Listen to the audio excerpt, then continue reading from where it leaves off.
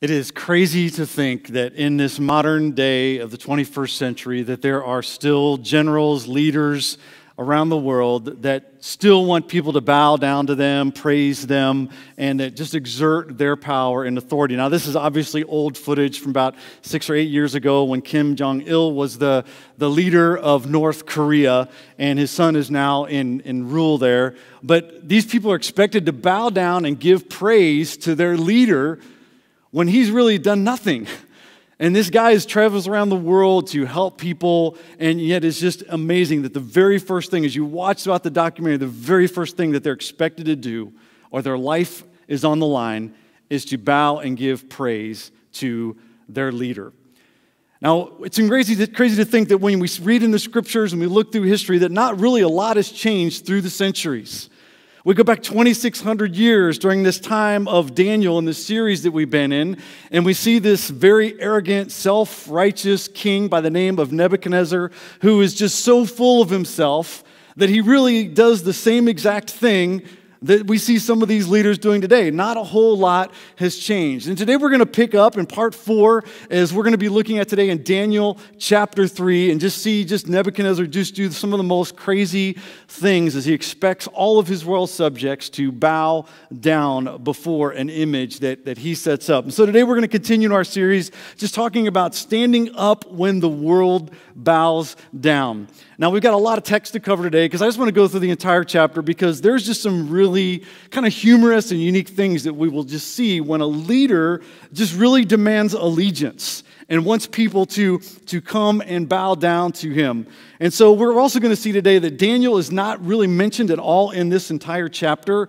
Um, it is believed that Daniel may be um, off out of the country on royal business, or he is right beside the king, um, and he's not expected to participate in some of what's going to take place in this, this section of the. But we are going to see these three guys that we've looked at. Um, I call them the three amigos um, because these, these three guys are just outstanding alongside of, of Daniel. And, and in this chapter, they're going to go by their Babylonian names. There's a shift that has taken place now. It's believed that this possibly could be 15 years later from what we looked at last week. So when we kicked off this series, we talked about how Daniel and these three guys, his three com- companions, were, were around 15 years old. So they're probably about 30 years old about now. Um, and Daniel and his companions just they have just an impeccable record in serving the king and, and just obeying God. So we're picking up in Daniel chapter 3. If you have a Bible, you can follow along. It'll be up here on the screens as well, or you can follow along on the app.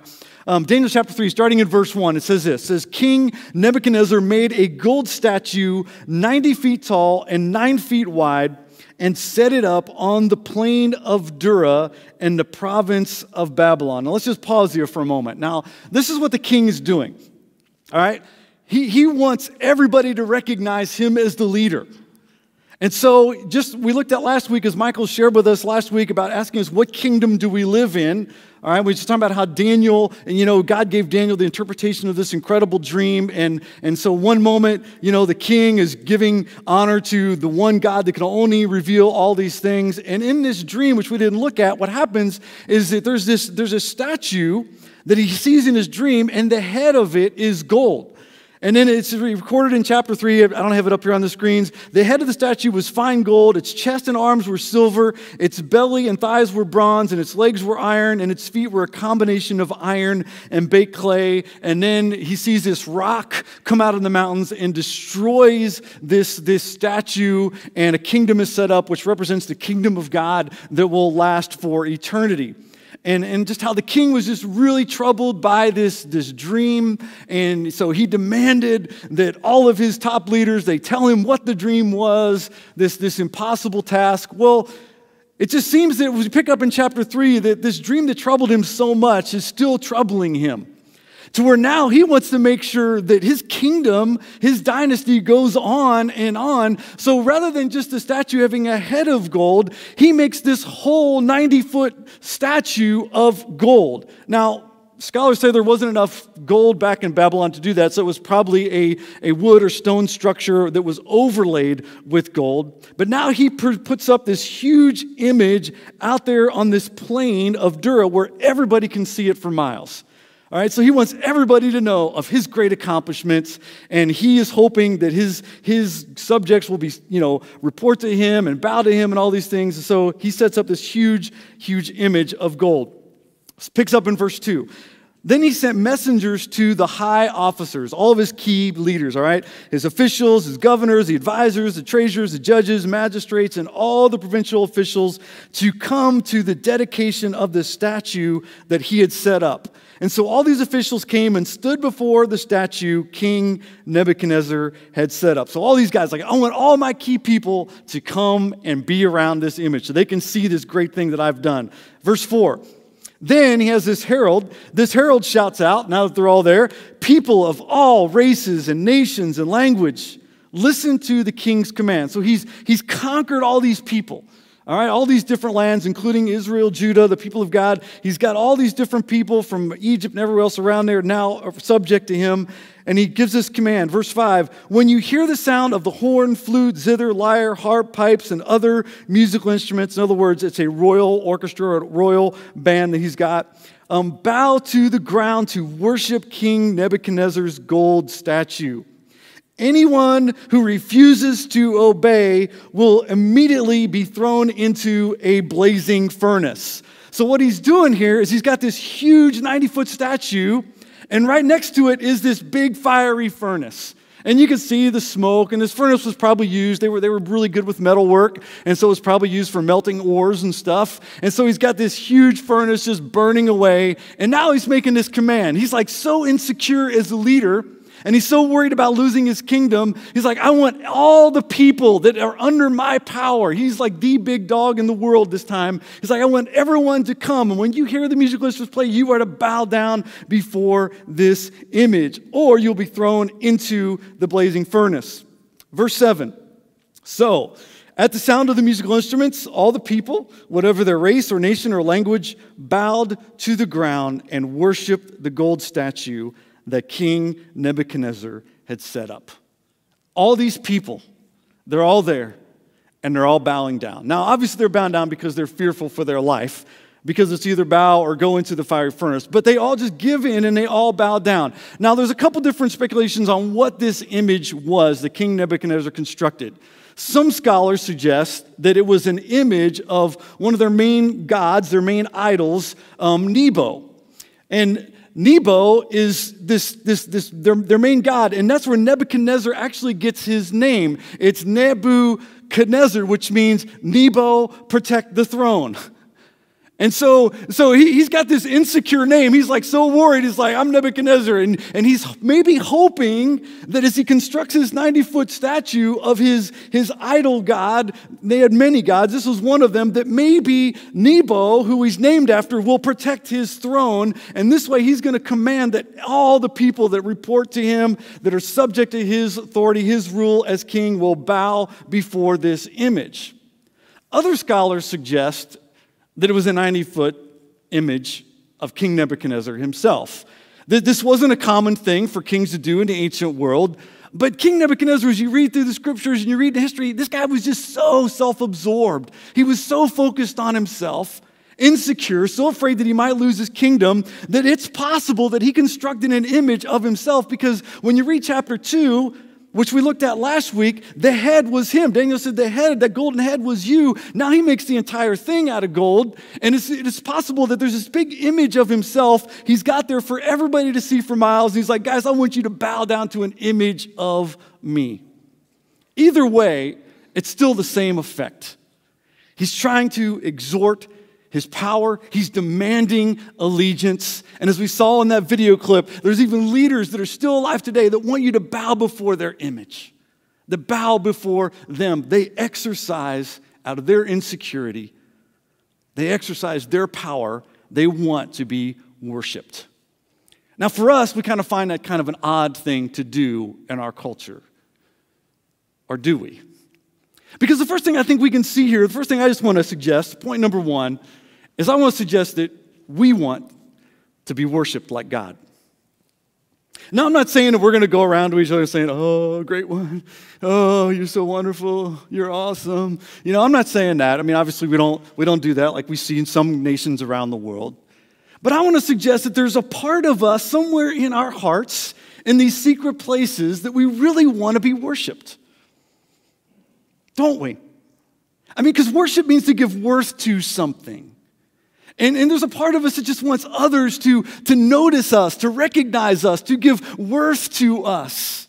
And kind of like King Nebuchadnezzar, I mean, this guy goes all out to try to get attention and focus on him. And I think sometimes in our insecurities, in our brokenness, in our weakness, we go to extreme measures too sometimes to get focus on ourselves. Oh, I hope somebody will notice me and recognize me and give worth to me and admire me. Now, what's incredible is it really it's one of the oldest temptations in the book. When you go back to the book of Genesis, we see the very first thing when sin came into the world is God gave Adam and Eve everything they wanted in the garden. He said, You can eat anything you want. All these trees are here except for one. Right here in the middle of the garden. You stay away from this tree. Don't eat of its fruit or you will die.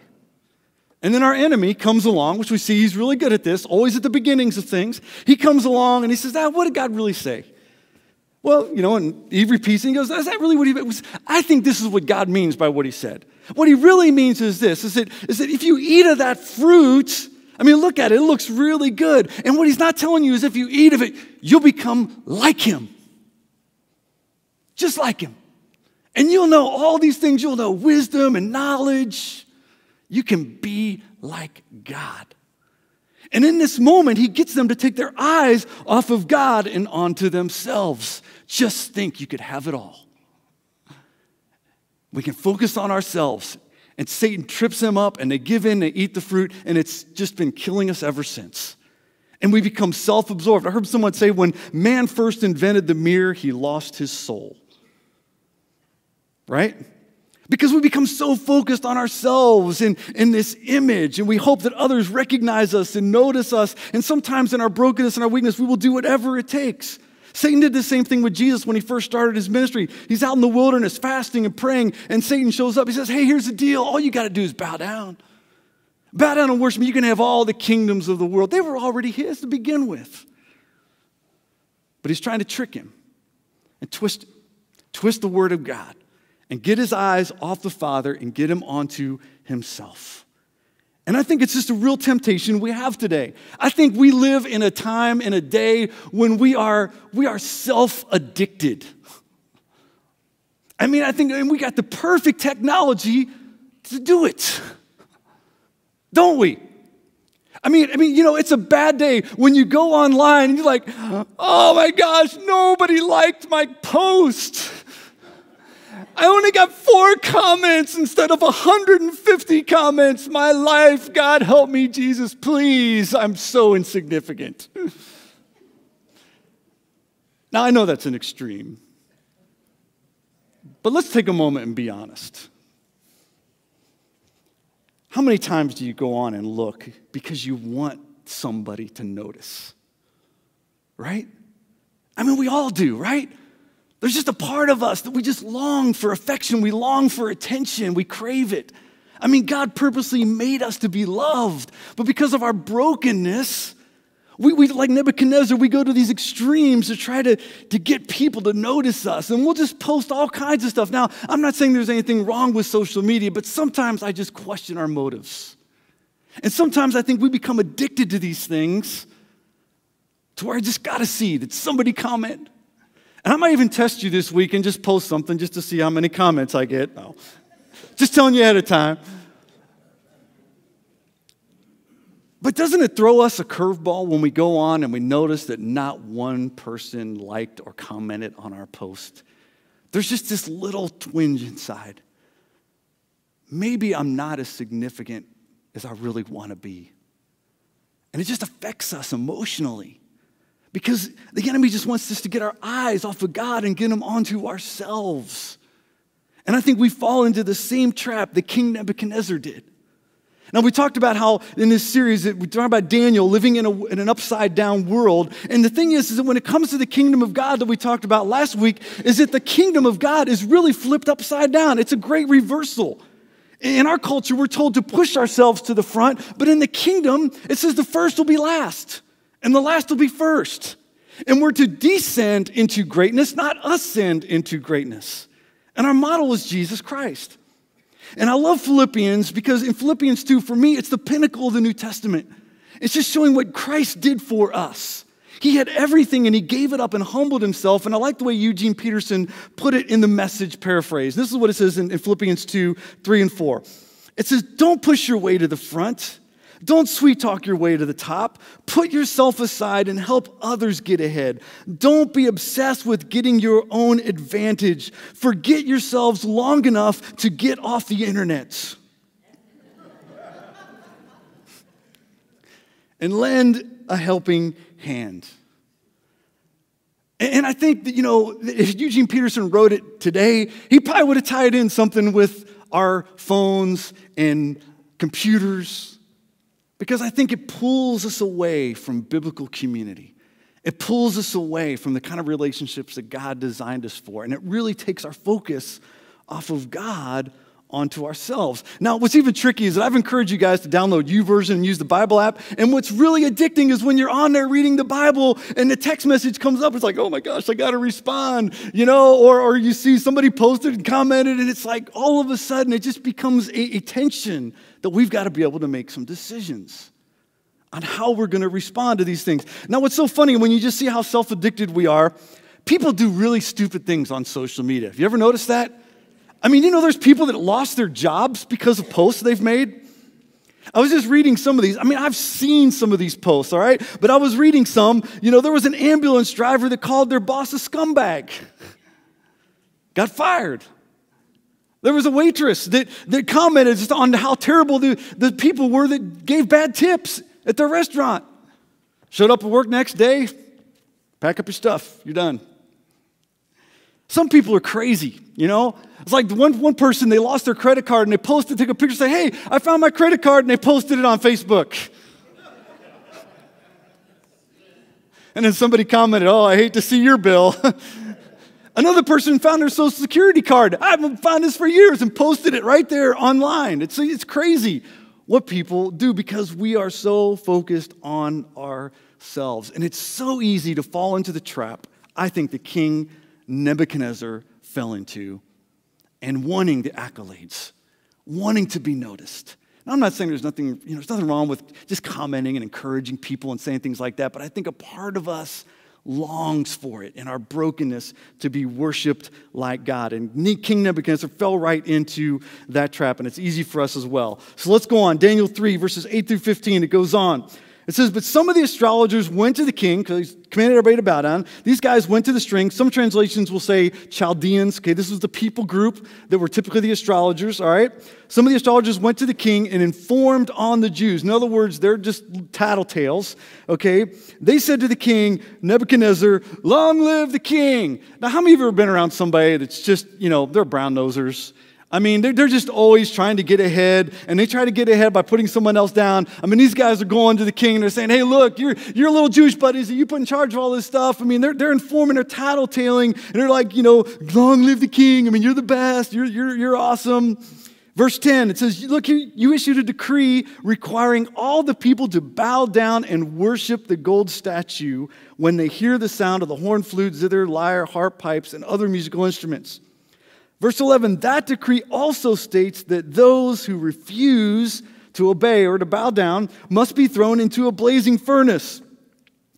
But there are some Jews. Be specific here Shadrach, Meshach, and Abednego. Okay, this is Hananiah, Mishael, and Azariah. We talked about those are Jewish names. Now they're going by their Babylonian names. Their names are changed. Okay, these three guys whom you have put in charge of the province of Babylon, they pay no attention to you. Now, come on. These guys have been faithful, loyal leaders. You know, you've been around people, they just stretch it. They pay no attention to you. It's like when they always say, don't ever say, you always and never. We always use the extremes. Like these guys, like, they, they don't pay attention to you. They do pay attention to the king. All right, but these guys are just really just kind of brown nosing the king. They pay no attention to you, your majesty. They refuse to serve your gods and do not worship the gold statue you have set up. Verse 13. Then Nebuchadnezzar flew into a rage and ordered Shadrach, Meshach, and Abednego he, he to be brought before him. I mean, this guy, he's like so into himself, he's in a rage. And then when they were brought in, Nebuchadnezzar said to them, Is it true, Shadrach, Meshach, and Abednego, that you refuse to serve my gods or worship the gold statue I have set up? You ever been around somebody that just demands your loyalty, just demands that you do something? I mean, he's like, Is this true? Verse 15. He has a little bit of compassion in here. He says, I will give you one more chance to bow down and worship the statue I have made when you hear the sound of musical instruments. But if you refuse, you will be thrown immediately into the blazing furnace, and then what God will be able to rescue you from my power? I mean, this guy is on a power trip. And he is so insecure. It doesn't matter how loyal these guys have been and how much they've done for him.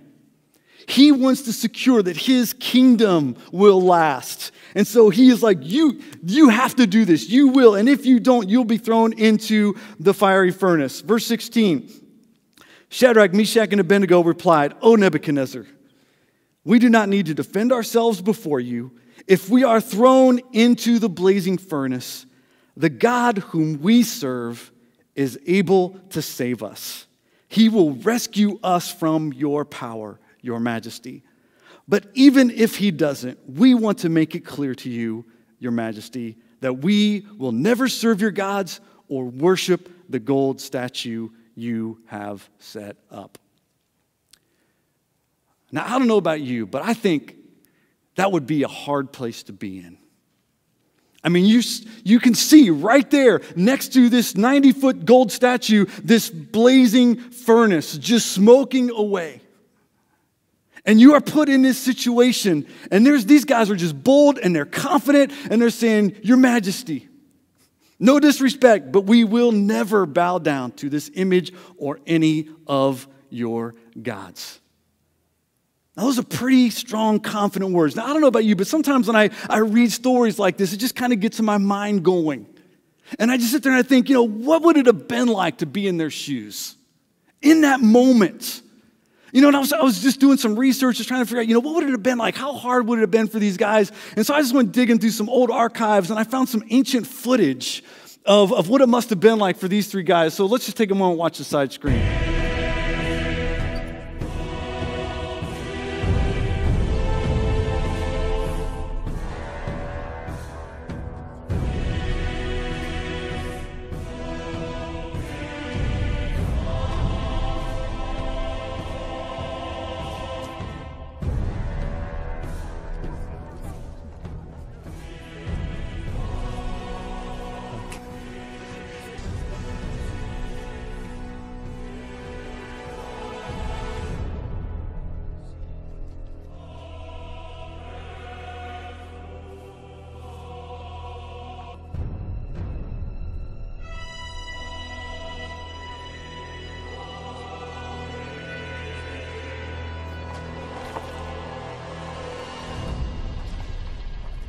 No!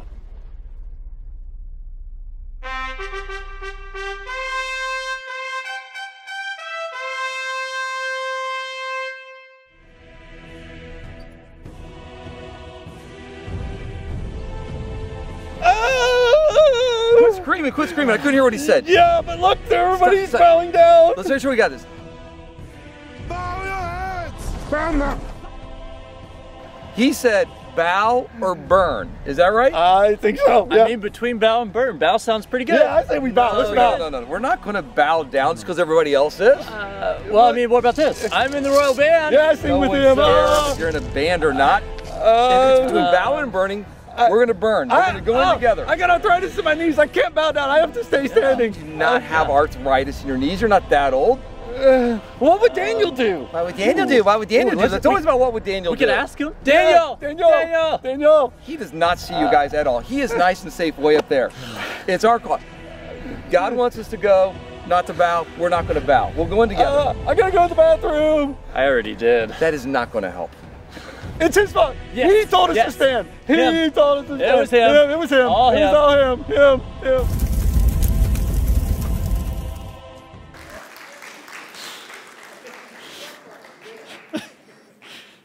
Pretty amazing footage, isn't it? I don't know how they shot that stuff. Uh, who says you can't have fun in church, right? now, what's interesting is I was reading some stuff this week on these three guys. These guys could have came up with all kinds of excuses. I mean, they could have went before the king. They said, King Nebuchadnezzar, look, we, we have been loyal to you at every point, every point. And look, everyone else is bowing down already. Isn't that enough? I mean, it could have, could have justified it and it could have said, look, God, we're, you know, we're, we're going to go ahead and bow down, but we're not bowing down in our hearts, but we're going to go ahead and bow down because our life's at stake here. We're just going to just bend us just a little bit, okay? Or, or they could have said something like this. They could have said, God, you know, we're not going to be much good if we're just, you know, fried chicken. You know, if we're just ashes and, you know, we're not going to be very effective with Babylon. So it's better that we bow and live than go into the fiery furnace. They could have came up with all kinds of excuses, justified it. But they didn't. Not one bit. And as I mentioned in the first couple weeks, just how I really firmly believe because these guys lived in biblical community. I mean, the Jewish, the, the way they lived, they lived as a community of faith. They encouraged one another. Even in the first century, the early church, they lived in biblical community and they constantly were challenging each other with the word of God. Now, Isaiah was a prophet. I read from when we first started here. Isaiah was before the time of Daniel and these three guys, okay? And he told them, he prophesied from God that there was going to be a time of captivity, that they were going to be taken away because of their disobedience. And I really believe that maybe these guys had heard these prophecies from Isaiah read to them, and which gave them the faith to stand strong in this moment. Let's look what it says here in Isaiah 43, verses 2 and 3. And this is all in regards to what God's going to do and what's going to be like when they go into exile. And it says this it says, When you pass through the waters, I will be with you. And when you pass through the rivers, they will not sweep over you. When you walk through what? The fire. When you walk through the fire, you will not be burned. The flames will not set you ablaze. Why? For I am the Lord your God, the Holy One of Israel, Israel, your Savior. I firmly believe these guys knew the Word of God. And it gave them the confidence to stand in faith before the greatest ruler on the planet during their day. And to say, look, it doesn't matter what you do to us. We are confident because we know that this was going to take place. We knew that we were going to be here someday, and we knew that if the waters came and the flood came, our God was going to rescue us. And if we had to walk through fire, we would not be burned. But even if our God doesn't rescue us, we still will not budge. They weren't going to bow down. And I would think they would also be knowing this because what was so key to the Jews was the Torah, the first five books of Moses. And one of the top two of the Ten Commandments that were given, the first one is this in Exodus 20, verses 3 and then verse 4. It says this It says, You shall have no other gods before me. You shall not make for yourself an image in the form of anything in heaven above or on earth beneath or in the waters below. In verse 5, you shall not bow down to them or worship them. Now, what's amazing is these guys, they could probably smell the smoke from the fire. And in the midst of a time when they could have come up with all kinds of excuses, they didn't. They stayed true to their faith.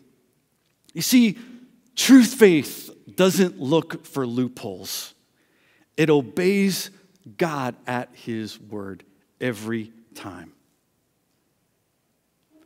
And I think that, that sometimes we get caught up in, in the things of this world and, and we get so pressured in some situations that we want to just try to find the loopholes. And true faith doesn't look for loopholes. True faith doesn't just bend it, well, I'm just really just a little bit. I'm just kind of dabbing a little bit. I'm just kind of doing a little bit. True faith obeys God at His word 100% of the time.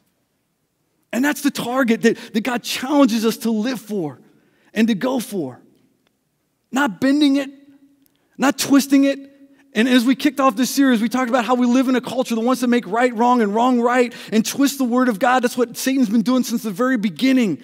And God simply wants us to trust Him, even when we don't understand what's going on, and that He'll be with us when we go through the fire. He'll be with us when we go through the waters. True faith obeys the Lord and trusts Him in every circumstance. And so, the second thing I just want to suggest is really where the question is this What do you need to refuse to bow down to?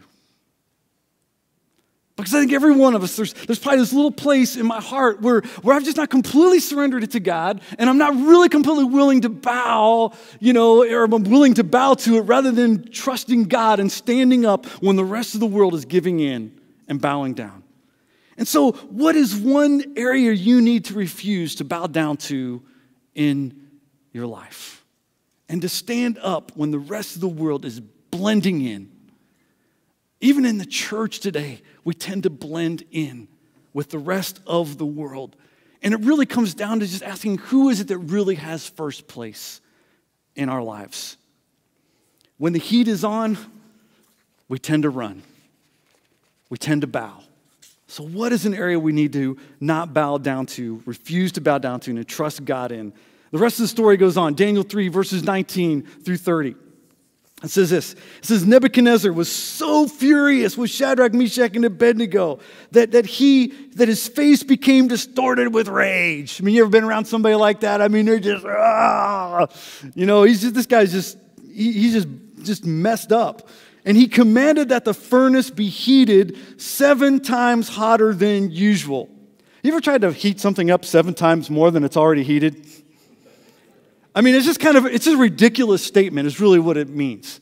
There's no way he's going to heat something up. I mean, you might be able to make it hotter, but you're not going to make it seven times hotter. You know, but here he's like, we're going to heat this thing up seven times hotter than usual. Get this thing going. Verse 20. Then he ordered some of the strongest men of his army to bind Shadrach, Meshach, and Abednego and throw them into the blazing furnace. Verse 21. So they tied them up and threw them into the furnace, fully dressed in their pants, turbans, robes, and other garments. And because the king, in his anger, had demanded such a ridiculous, I might insert, a hot fire in the furnace, the flames killed the soldiers as they threw the three men in. Now let's just pause here for a moment. I think it's a good lesson we can learn from this. Sometimes it's easy to lose control. And in our anger, in our foolishness, in our stupidity, when we act out, other people get hurt in the process. And here, Nebuchadnezzar, he is just out of control. And he is not thinking about anybody but himself. And it's clear here that because of that, it cost some of his key men their lives.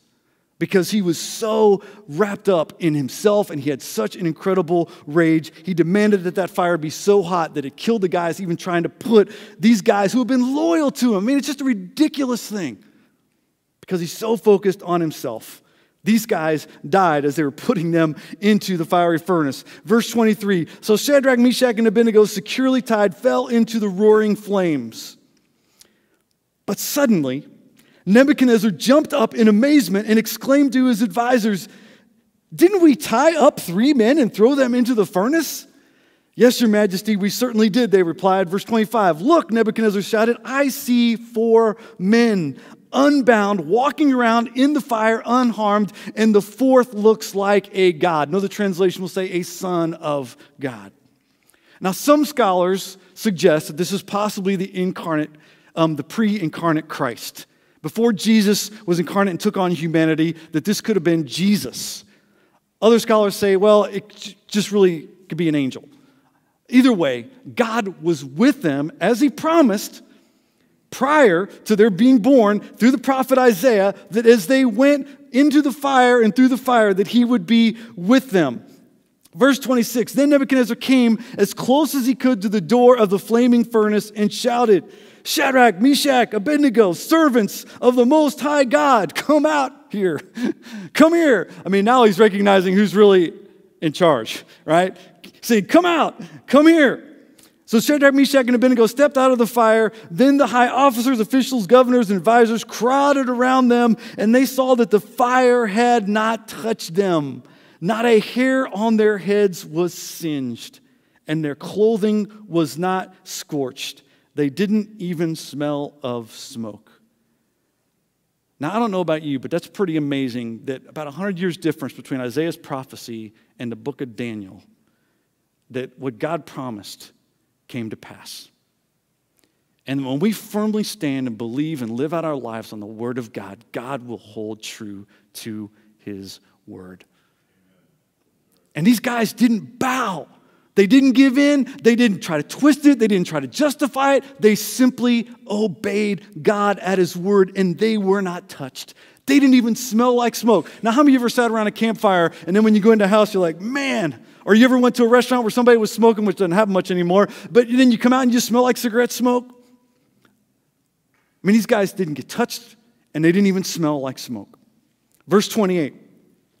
Then Nebuchadnezzar said, Praise to the God of Shadrach, Meshach, and Abednego. He sent his angel to rescue his servants who trusted in him. They defied the king's command and were willing to die rather than serve or worship any God except their own God. Therefore, I make this decree. this is what I love about Nebuchadnezzar. this guy just doesn't back down. Therefore, I'm making a decree. if any people, whatever their race or nation or language, all the people I've conquered, whatever language you speak, against the word of the God of Shadrach, Meshach, and Abednego, they will be torn limb from limb, and their houses will be turned into heaps of rubble. There is no other God who can rescue like this. Even in the midst of revelation, he is still exhorting his power. Here's the deal, guys I'm still on the throne here. but if anybody doesn't worship their God, you will be torn in pieces. Verse 30 Then the king promoted Shadrach, Meshach, and Abednego to even higher positions in the province of Babylon. All because they were not willing to bend one bit not one little bit. So, the last thing I just want to close with is this point three. It's another question. Are you willing to go through the fire? Are you willing to live out your faith in such a way that you're willing to go through the fire? Now, that's a hard question to answer. Because theoretically, we, we want to obey, we want to do this, but if we're really honest, sometimes when the heat is on, we want to give in. It's so hard sometimes. But the real question is, are we willing to go through the fire? Because when you turn in the book of Hebrews at chapter 11 and you read the whole hall of faith of all the men and women that have gone before us, a lot of them never saw what they were promised. Okay? They're, they're in eternity with God, seeing the fulfillment of it. But they didn't see it in their life. But they weren't willing to back down. They fully trusted God at His word. And because of that, they are in the hall of faith because they were faithful to God at His word. Peter writes this the Apostle Peter, he's writing to a church that's under fire, a church where there's extreme persecution taking place. People are being burned at stake, people are being killed. And this is what Peter writes. He, he says this he says, These trials, you know, just, just ignore them, just go do what you want. He doesn't pamper them. He says, he says, These trials will show that your faith is genuine. It is being tested as fire tests pure and purifies gold, though, though your faith is far more precious than mere gold. So when your faith remains strong through many trials, it will bring you much praise and glory and honor on the day when Jesus Christ is revealed to the whole world. What's interesting when you read from cover to cover of God's word, he never once moves his people away, away from the fire. Because God is more concerned about our holiness and purifying us than He is about our happiness. Because He knows what's best for us, and He simply wants us to trust Him. To trust Him at every point and let Him take us through the fire. He is with us through the fire, even though we don't understand it at times, because He's doing something greater in us to make us into His image. That we will reflect the very nature and the character of God in our lives not living out our image, but being image bearers of the true king. So, a couple bullet points I have here on this last point. Are you willing to go through the fire? First bullet point is this don't go through the fire alone. These guys, when you read in this story, Daniel, last chapter, he went to them and said, Guys, get on your knees and start praying, or our lives, or, or they're, in, they're in trouble. Get on your knees, start praying. Ask God to reveal this dream. These guys lived in biblical community. They were connected with each other consistently. That's how they lived, even in exile, even away from their homeland, a thousand miles away. They connected with each other and they stood out above everybody else. Don't go through the fire alone. Your God is with you, and you need other people with you along the way. Matthew 18 20, Jesus promises this. He says, Where two or three are gathered in my name, there am I with them. Or two or three gather in my name, there am I with them. Jesus promises when we meet together, we're connected with each other, He is with us. Next bullet point. When the fire comes, the fire, it burns off the things that holds you back. Now let's notice what's back. Let's go back here and look at verse 25 again. Nebuchadnezzar, he says, Look, Nebuchadnezzar shouted, I see four men, what? Unbound, walking around in the fire unharmed, and the fourth looks like a god. The only thing that got burned while they were in the fire was the things that held them back. That's it. And God wants to burn off all the junk in our lives that's holding us back from the fullness of all that He has in store for us. If we're willing to trust Him and be willing to go through the fire, it'll burn off the things that hold you back. Last thing, last bullet point is this it proves who is still on the throne. You see, what we don't realize in this chapter, some scholars believe at this point in time, the temple, a thousand miles away, was destroyed. Nebuchadnezzar, he exerted his power, says, These gods, these other lands are nothing. He destroys the temple. It doesn't matter, even if it wasn't destroyed at this point in time, these guys were nowhere near their place of worship.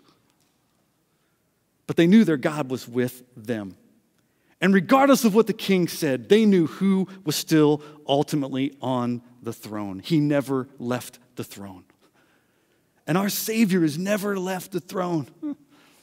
Our God is the one that's on the throne. And He challenges us to say, who's really on the throne? And when we go through the fire, it really begins to reveal who's really on the throne. Because when I start squirming when the heat is on and I run, then really it shows that I'm on the throne. But when I'm willing to go through the fire and let it purge and purify me, God reveals that He is on the throne. Let's go back and look at Isaiah, wrap up with this. Isaiah 66, it says this. This is what these guys, I think, had going on in their head. It says this This is what the Lord says Heaven is my throne. Now, the temple was still up at this point in time. And God's saying, Here's the deal Heaven is my throne, and the earth is my footstool. Where is the house you will build for me? Where will my resting place be? In other words, what God is saying, Look, it's not in a building. I created all these things, and I created them for you my resting place is not in one place. And we fast forward to the New Testament. The New Testament says, Where's the temple of God? You, as a Christ follower, are the temple of God. And it challenges us to be careful what we do with this temple and what we allow into this temple, where the Spirit of God resides. What do you need to refuse to bow down to? Are you willing to go through the fire? to let Jesus be Lord of your life? Are you promoting your image for people to see all around the world? Are you promoting the image of the one true God who paid the ultimate price for you? Let's pray.